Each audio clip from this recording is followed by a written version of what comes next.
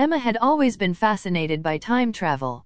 As a child, she would dream of being able to go back in time and witness some of the most significant events in history. As an adult, she became a scientist and devoted her life to studying the laws of time travel. After years of research and experimentation, Emma finally built a time machine. She climbed into the machine and set the date for the year 1920. As the machine whirred to life, Emma felt a rush of excitement and anticipation.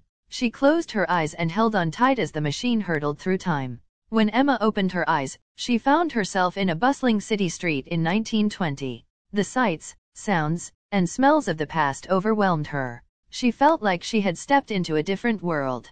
As she walked down the street, she marveled at the vintage cars, the old-fashioned clothing, and the architecture of the buildings. Emma spent the next few days exploring the city and immersing herself in the culture of the past. She visited jazz clubs, speakeasies, and dance halls. She met fascinating people and listened to their stories of life in the roaring twenties.